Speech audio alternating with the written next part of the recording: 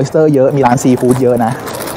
ผมเองก็ถามคุณป้าเขาแล้ว แกเนี่ยทำขายอยู่ที่นี่มานานแล้วนะครับ นี่ฮะ นิ่มๆเลยฮะ เป็นไส้ราสเบอร์รี่ ไส้คัสตาร์ดก็มี เดี๋ยวเรามาชิมอันนี้ด้วยกันลุยครับหืมหืมอร่อยมาก นี่ ปอนด์ละห้าปอนด์ห้าดอลลาร์ต่อหนึ่งปอนด์แอปริคอต These are beans, yes. You change หอมอะ Yeah.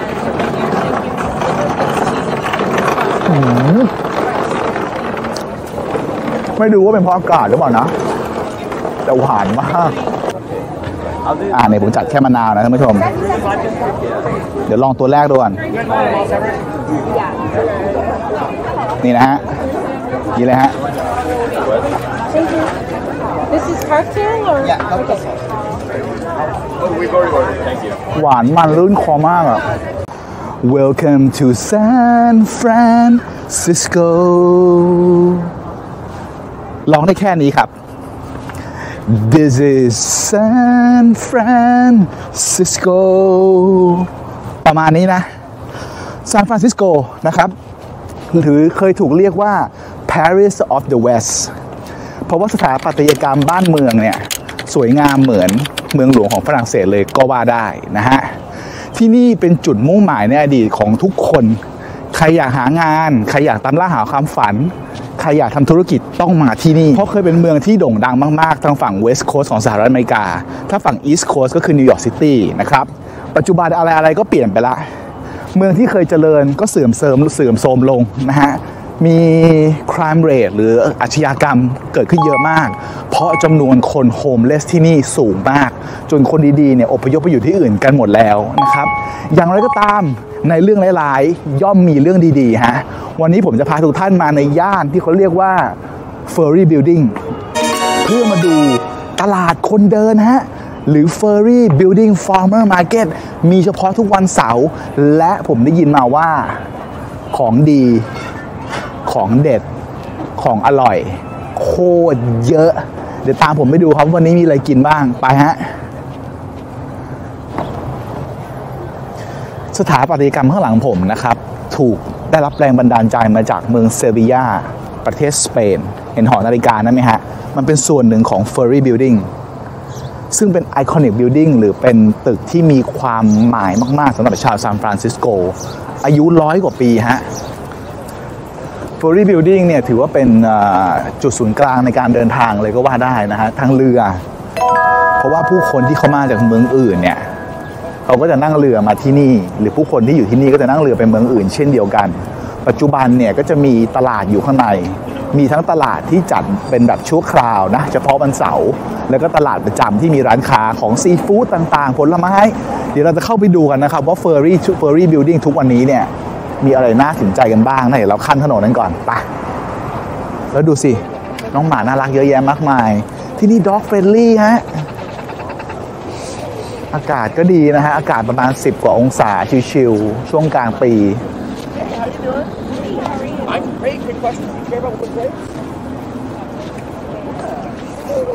ตอนนี้เรามามาช่วงเช้ามาช่วงเช้านะครับ คนก็ยังไม่ค่อยเยอะนะ ก็ถือว่าเป็นเวลาที่ดีแบบประมาณ9โมง10โมงเนี่ยอ่านี่คือภาพข้างหลังเดี๋ยวผมจะแพนกล้องให้ดูภาพข้างหลังสวยงามมากนะดูนี่สิ สวยไหมสวยนะ อ่า ต้นปาล์มก็เป็นสัญลักษณ์อย่างหนึ่งของรัฐแคลิฟอร์เนียนะครับ อะมาเดี๋ยวเราข้ามถนนกันดีกว่า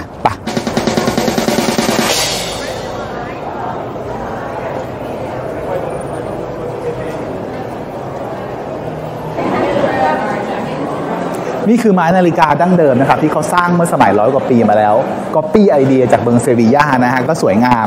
คือสมัยก่อนเนี่ยไอ้นาฬิกาเนี่ยโอ้โหคือแบบสูงที่สุดในละแวกนี้แล้วอะคุณคิดดูว่ามันสร้างมาประมาณปี 1906นะฮะแต่ว่าสร้างได้ดีเอาไม้ผสมคอนกรีต สมัยนั้นทำให้ต่อให้แผ่นดินไหวยังไง ก็ไม่พังลงมา นี่คือบรรยากาศข้างใน Furry Building แล้วนะ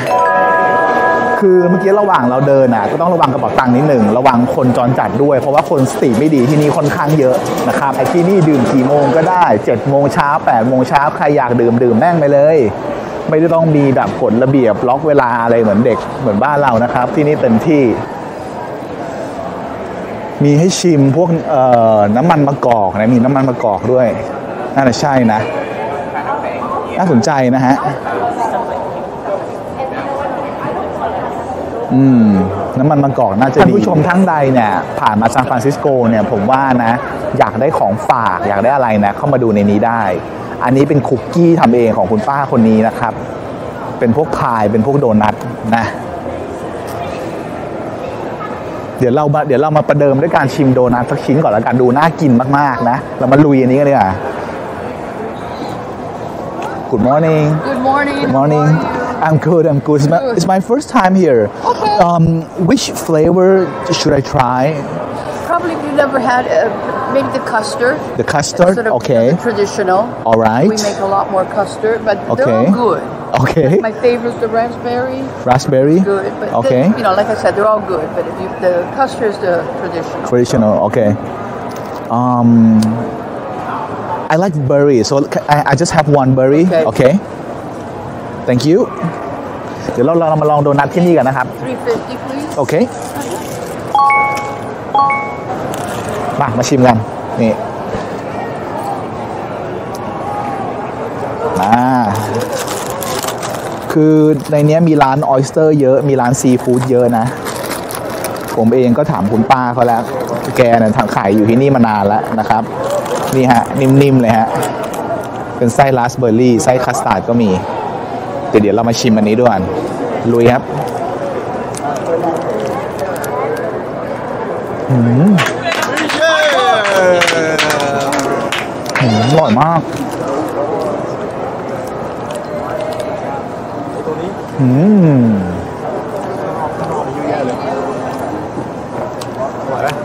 แป้งนุ่มหอม แล้วก็ไม่หวานไม่เปรี้ยวมากเกินไป ดีครับร้านนี้แนะนำฮะ ไม่มีชื่อร้านต้องจำหน้าคุณป้าคนนี้เอาไปได้ไปไปต่อเดินมาเรื่อยๆท่านผู้ชมจะเจอกับร้านที่เขาขายเห็ดและปลูกเห็ดเองโดยเฉพาะ ซึ่งผมเจอเห็ดอันหนึ่งชื่อเห็ดมอเรลอันนี้ฮะเห็ดมอเรลอันนี้เป็นเห็ดที่แพงมากแพงพอๆกับทรัฟเฟิลเลย บางร้านขายแพงกว่าเห็ดทรัฟเฟิลอีก เห็ดมอเรลนี่หายากนะครับ แล้วเป็นของดีเลยฮะ ใช้ในร้านอาหารมิชลิน 1 ดาว 2 ดาวและ 3 ดาว น่ากินมาก ที่นี่มีเห็ดทุกชนิดครับ คุณสามารถเลือกหยิบได้เลย มีทุกรูปแบบเขาขายเป็นอันเนี้ยอันนี้คือราคาต่อหนึ่งปอนด์เนี่ยชิตาเกะ12 เหรียญมิทาเกะไมทาเกะ15 เหรียญเป็นราคาตามปอนด์นะครับเพราะที่นี่เขาจะไม่ใช้หน่วยเป็นกิโลกัน ร้านนี้เห็ดดีเห็ดเยอะฮะน่ากินแวะมาได้ เดินมาเรื่อยๆฮะออกมาจาก Furry Building ก็จะเป็นตลาด Farmers Market นะครับ ก็จะเริ่มมีบูธมีขายของเยอะ เจอร้านขายผลไม้ที่คนขายน่ารักมากนะครับพูดไทยได้ด้วย มีแอปริคอตมีเชอร์รี่มีเชอร์รี่หลากหลายสายพันธุ์มาจากฟาร์มของเขา เดี๋ยวมาลองชิมแอปริคอตดูฮะ นี่ปอนด์ละ5ปอนด์5ดอลลาร์ต่อ1ปอนด์แอปริคอต These are beans, yes. Can you change that หอม one? อะ Yeah, thank you.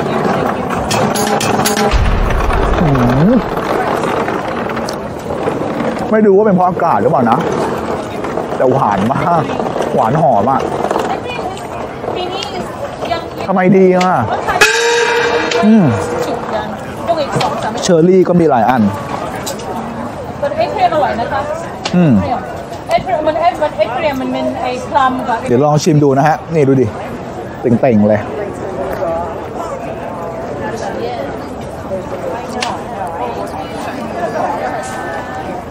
อืมอืมเปรี้ยวอมหวาน Now, how have you เนื้อแน่นกรอบรสชาติโคตรดี Huh? Tonight. อยู่บ้านเราเนี่ย บางทีไม่มีกิน บางทีราคาสูง แต่ที่นี่เขาขายกันแบบเนี้ยฮะ นี่แหละครับ farmer market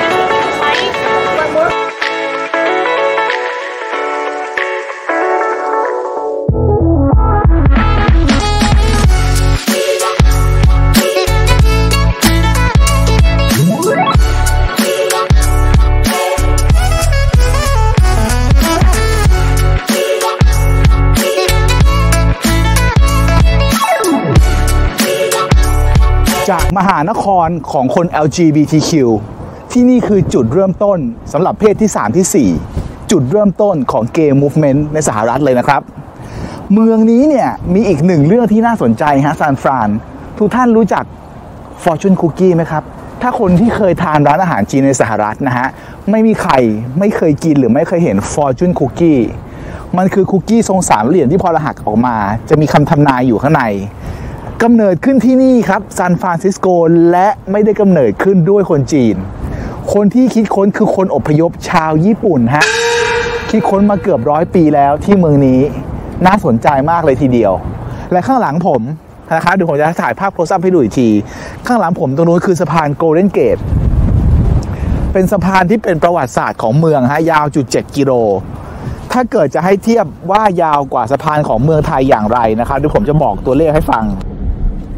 สะพานในเมืองไทยในกรุงเทพที่ดังๆนะฮะสะพานร9เนี่ยยาว 780 เมตร สะพานภูมิพล 400 กว่าเมตร สะพานกาญจนาพิเศษกประมาณ 950 เมตร แต่โกลเด้นเกต 2,700 กว่าเมตร เกือบ 3 กิโลเมตร นั่นคือสเกลของความใหญ่ที่แตกต่างนะครับอ่าผมกำลังเดินไปเรื่อยๆนะครับกำลังตามหาเบอร์เกอร์ หรืออะไรที่กินแล้วมันแบบอิ่มท้องพวกเนื้อนะฮะที่เห็นส่วนมากก็จะเป็นพวกร้านขนมปัง ร้านชีสเค้กเนี่ยเยอะ ที่นี่หนึ่งในสิบคนอะผมว่าสิบเปอร์เซ็นต์อะทุกคนจะจูงสุนัขนะฮะไม่ว่าจะเป็นสุนัขเอาไว้ช่วยเหลือผู้พิการสุนัขตาบอดเรียกว่าไกด์ด็อกนะครับหรือว่าสุนัขตัวเล็กๆ เพื่อความสวยงาม ร้านขนมปังเยอะมากท่านผู้ชม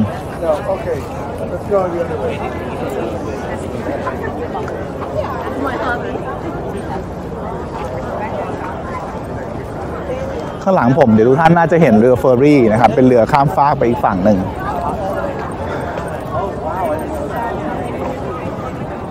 มี Flavor of Indonesia นะฮะ Chicken Box เจอร้านเด็ดฮะ Mark and Mike's San Francisco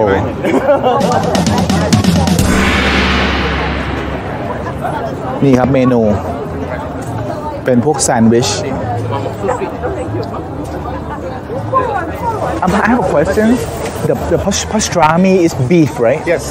Uh, do you have any pork here? No. Okay, okay. We're just gonna get the uh, the smoked salmon then. Salmon one or two? For, for one. Just one. This one, yeah. One salmon latka. And your name? Jay เราสั่งสโมกแซลมอนนะฮะวันนี้เดี๋ยวลองชิมดูเพราะทุกอย่างเป็นเนื้อหมดเลย อาหารมาแล้วนะท่านผู้ชม คือข้างล่างเนี่ยมันเป็นอ่ามันเป็นเหมือนมันฝรั่งทอดอะ เป็นเหมือนแฮชบราวน์อะ เนี่ยกรอบๆ เป็นเส้นๆ มีครีมชีส มีสโมกแซลมอนของท้องถิ่น แล้วก็ไข่ปลาแซลมอนนะครับ ลุยฮะแบบนี้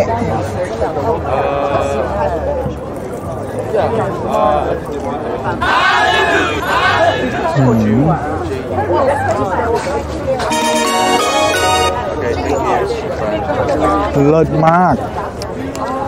มันฝรั่งกรอบ ครีมชีสนัว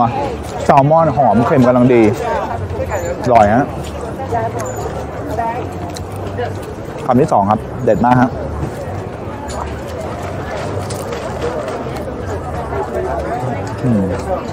เยี่ยมจริงๆลงตัวมากนะไม่ผมไปเดี๋ยวเราไปต่อดีกว่าขณะนี้กำลังต่อแถวคิว Hog Island Oyster นะครับ Hog Island ก็เป็นเจ้าดังในละแวกนี้เป็นฟาร์มเพาะเลี้ยง oyster อยู่ชายฝั่งแคลิฟอร์เนียนี่เองนะครับเขามาออกบูธข้างหลังผมนะฮะเห็นนะครับ เดี๋ยวดูครับว่า oyster เขาจะเด็ดแค่ไหน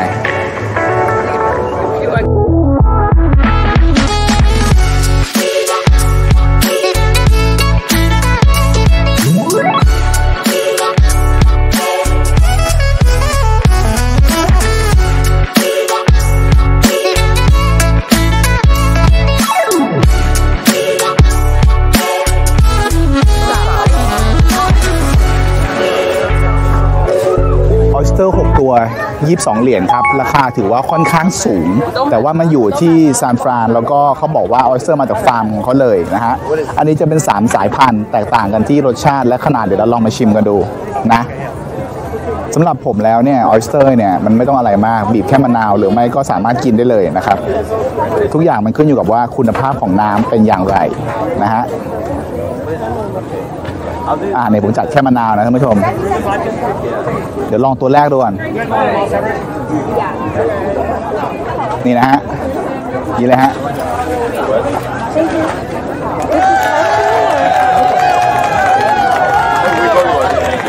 อานมันรื่นคอมากอะ ดีมาก เย็นเย็นๆกรุบกรุบๆนะอื้อหือนี่อีกสายพันธุ์หนึ่ง นี่เลยฮะ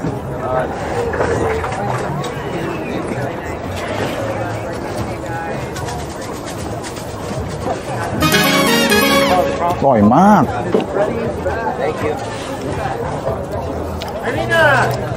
หอยนางรมมันกรองน้ำวันละ 50 ลิตร ถ้าน้ำทะเลไม่ดีจริง กินแล้วอาจเป็นพิษได้ ควรจะกินหอยนางรมสดในย่านที่น้ำทะเลเป็นอากาศหนาว น้ำสะอาด อย่างที่อเมริกายุโรปหรือญี่ปุ่นนะครับ เพราะฉะนั้นที่นี่คุณภาพน้ำดี หอยสด หอยหวานกรอบเด้ง มาทานได้ฮะ Hawk Island Oyster การันตีครับ นี่คือร้านสตรอเบอรี่ที่มีคนต่อคิวค่อนข้างยาวนะครับ ได้ยินว่าเป็นสตรอเบอรี่ที่อร่อยที่สุดแถวนี้ เราก็เลยมาต่อคิวกับเขาบ้างนะฮะ ไม่รู้ว่าอร่อยแค่ไหน มาจากเอ่อ locally grown นะครับ เป็นฟาร์มท้องถิ่นนะฮะ เดี๋ยวเรามาดูกัน อ่า นี่นะครับ ดูเหมือนว่าจะมีหลายพันธุ์นะฮะ หลายแบบ อ๋อ พันธุ์ชื่ออัลเบียน อัลเบียนอะไรสักอย่างนะฮะ The seascape also have the strongest flavor. อาหารรสชาติเข้มข้นสุดเขาบอก seascape โอเค we get the seascape just one just one yeah เราซื้ออัน seascape นะครับเพราะเขาบอกว่ามันหวานที่สุด ส่วนอัลเบียนเนี่ยก็จะแบบเก็บได้นานหน่อยมีเป็นรสชาติเป็นหวานอมเปรี้ยวนะฮะเดี๋ยวมาดูกันครับว่า seascape เป็นยังไง แต่หอมมากกลิ่นสตรอเบอรี่ตรงนี้หอมมาก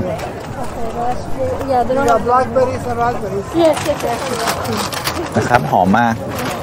เดี๋ยวลองชิมดูฮะ Six dollars, that's all. โอเค he he said six dollar six dollar six dollars. not not You only fifteen one basket, right? oh yes someone Thank you. is your farm around here your farm is around here in this area your farm Well, no, it's done by the on the on the Monterey, the Ah. Watsonville. Watsonville Yes, uh, close to Monterey, yeah. okay Great town. great You town know the sun is okay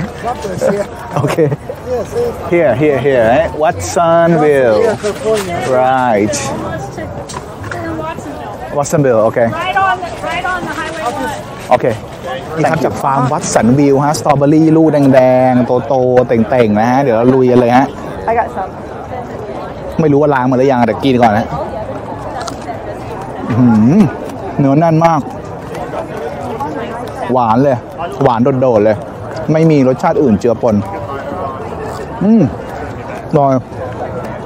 หวานกรอบเนื้อแน่น ฟาร์มนี้ใช้ได้ สายสตรอเบอรี่ใครอยากมากินก็แวะมานะฮะ ร้านเนี้ยครับ เด็ดฮะหกเหรียญ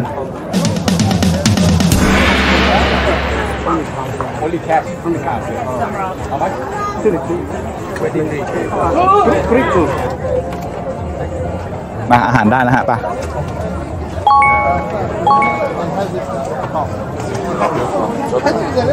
พิโคซาคือเขาจะมีซอสให้ราดเพิ่มนะฮะท่านผู้ชมนะ เดี๋ยวผมจะลองราดไปทั้งสองอย่างก่อน ไม่มั่นใจว่าคืออะไรนะ อันนี้นะนี่อ่าราดอย่างนี้ไปก่อนอันนี้ราดไปข้างๆนะครับ ก็อันนี้ อ่านี่อีกอันหนึ่งราดไปนิดหนึ่งนะ เออส่วนอันนี้มันราดมาแล้วคงไม่ต้องราดเพิ่ม อะราดนิดหนึ่งแล้วกันนะ นี่ อืม อืมโอเค ไปฮะ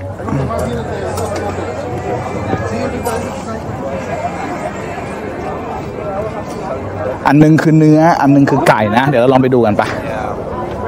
นี่ฮะ ทาโก้ยักษ์ ทาโก้เนื้อ แบบทอดมาแบบกรอบๆอะนะ แต่มันดูแบบค่อนข้างเลอะเทอะ นี่คือกัวกาโมเล่นะฮะ เป็นอะโวคาโดอันนี้น่าจะเป็นซอสถั่วดำกับครีมชีส มาลุยเลยฮะ ไม่รอแล้ว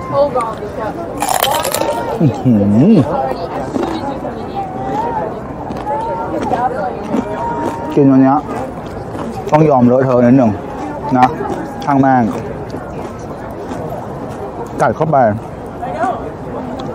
คำแรกซอสมะเขือเทศเข้มข้น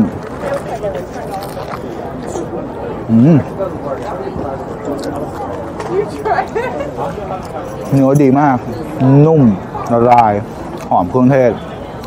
ถ้าสายเนื้อนะจานเนี้ยแนะนำเนี่ยจิ้มกูกาโมเล่แบบเนี้ยเนี่ยเนี่ยเยิ้มเยิ้มๆนี่แหละ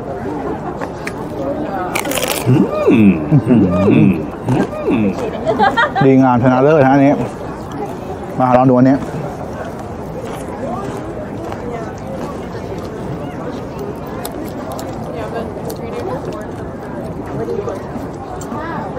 อันนี้เนี่ยใช้มือกินไม่ได้เดี๋ยวผมจะใช้ซ่อมตักให้ดูนะมันเละ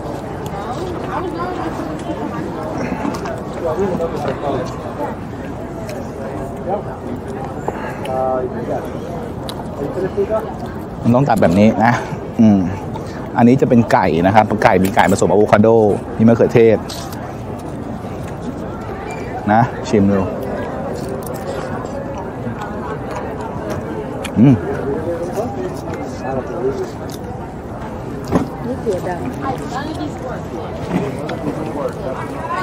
ซอสซาลซ่าซอสมะเขือเทศเขาอร่อย แป้งอะโวคาโดมีความกรอบมีรสชาตินะครับ ครีมชีสถือว่าดี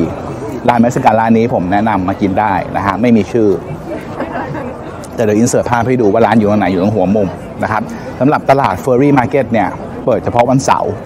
จะมาก็คนเยอะนะครับ มี homeless บ้างอะไรบ้าง พยายามระวังกระเป๋าสตางค์มาเที่ยวกันได้ของกินเยอะร้านกาแฟเยอะผลมงผลไม้อาจจะราคาสูงนิดนึง แต่ก็ถือว่าน่าเดิน เพราะว่าบรรยากาศอยู่ติดริม bayและเห็นโกลเด้นเกตบริดจ์ด้วย